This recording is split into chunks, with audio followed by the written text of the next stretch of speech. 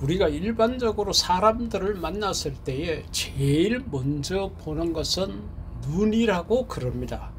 그래서 그 눈빛을 보고 이 사람이 괜찮은 사람이겠다. 때로는 이 사람이 악한 마음을 가지고 있다. 이렇게 판단한다는 거죠. 그러니까 어디를 보느냐에 따라 가지고 또 어떻게 판단하느냐에 따라 가지고 달라질 수 있다는 것입니다. 사도행전 7장 54절에서 60절까지 말씀 가운데 보게 되면은 스데반 집사의 순교에 관한 기록이 기록되어져 있습니다. 다시 말하면은 초대교회 일곱 집사를 세웠는데 그 일곱 집사 가운데 한 사람이 스데반 집사고 그 스데반 집사가 최초의 순교자가 되는 그런 과정이 사도행전 7장 속에 있습니다. 그런데 이 사도행전에 기록되어져 있는 스테반의 순교 과정을 쭉 보면서 스테반이 어디를 쳐다보고 있었느냐, 어디를 봤느냐 하는 것에 우리가 집중할 수가 있습니다.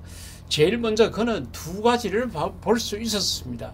하나는 자기 앞에 있는 사람들을 바라볼 수 있었던 거고 또 하나는 보이지는 않지만은 자기의 마음으로만 믿음으로만 바라볼 수 있는 예수님을 바라봤다 이렇게 생각할 수가 있습니다.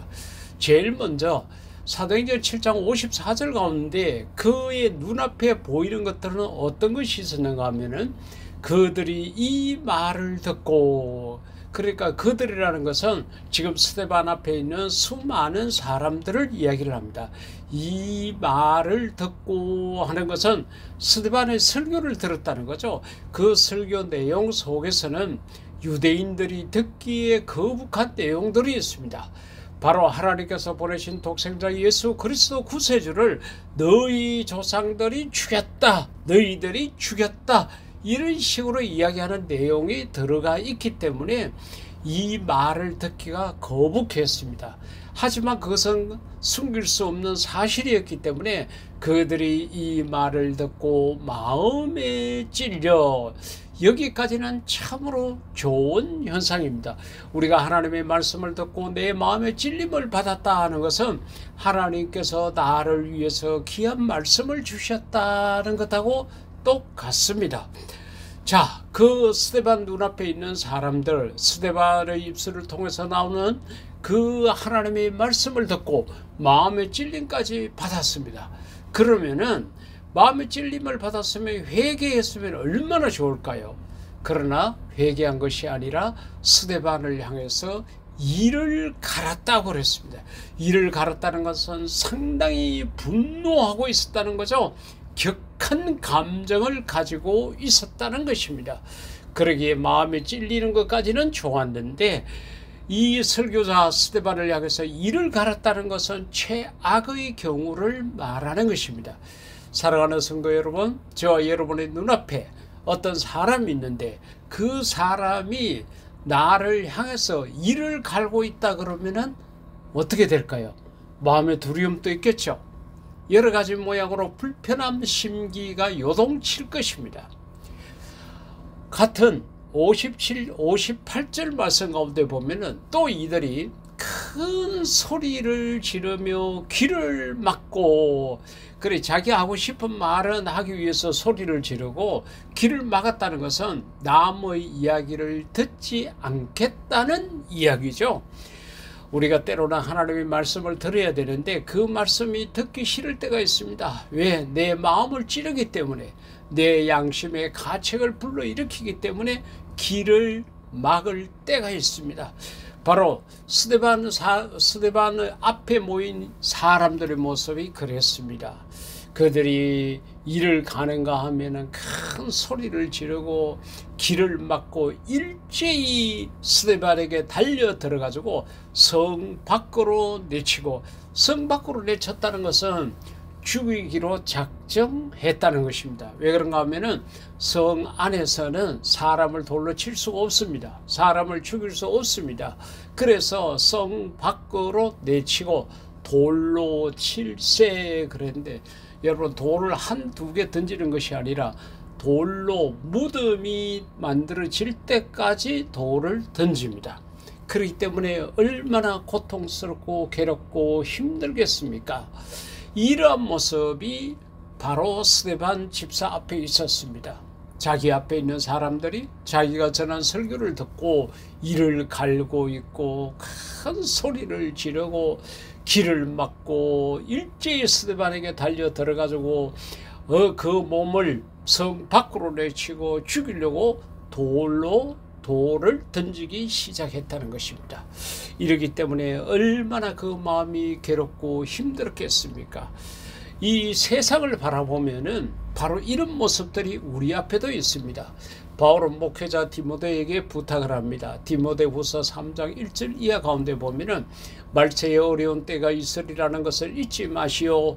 그때는 사람들이 자기를 사랑하고 돈을 사랑하며 뽐내고 교만하고 하나님을 모독하고 하나님까지도 모독한다고 이야기를 했습니다. 그러니까 얼마나 악한, 악한 모습입니까? 거기에다가 부모에게 순종하지 않을 것입니다.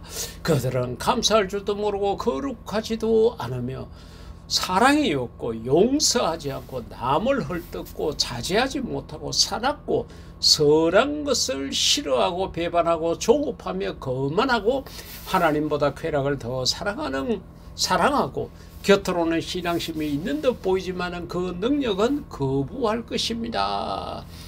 표준 세번역에는 이와 같이 기록이 되어져 있습니다. 세상이라는 것은 가면 갈수록 악하고 하나님이 원치 않는 모습으로 간다는 겁니다. 이것이 세상의 모습입니다. 또 하나 스테반의 모습 속에 인간의 눈으로는 볼 수 없지만 믿음의 눈으로 영성으로 볼 수 있었던 것이 있습니다. 그것이 바로 55절, 56절에서 스데반이 성령 충만하여 하늘을 우르르 주목하여 하나님의 영광과 및 예수께서 하나님 우편에 서신 것을 보고 말하되 그렇죠. 지금 육신의 눈으로 볼 수 있는 것은 조금 전에 말한 그런 사람들의 악한 모습이지만 영의 눈으로 바라, 바라보니까 예수님이 보여요. 그것도 하나님 우편에 서신 것이 보인다는 거죠. 그리고 하늘이 열리고 인자가 하나님 우편에 서신 것을 보노라 그같이 이야기했습니다. 바로 믿음의 눈으로 영적인 눈으로 보니까 예수님이 보였다는 거죠. 그리고 스테반이 죽어가면서도 60절 가운데 보면은 무릎을 꿇고 크게 불러 이르되 주여 이 죄를 저들에게 돌리지 마옵소서 이 말을 하고 잔이라 죽었다는 이야기죠.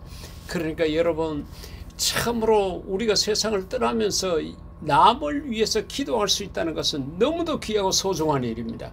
그런데 이 60절 가운데 보면 스테반이 자기를 향해서 돌을 던지고 소리를 지르고 악한 모습을 갖고 이를 갈고 있는 그들을 위해서 하나님 앞에 기도하는데 그것도 크게 불러 이르되 주여 이 죄를 저들에게 돌리지 마옵소서 참으로 너무도 아름다운 모습입니다.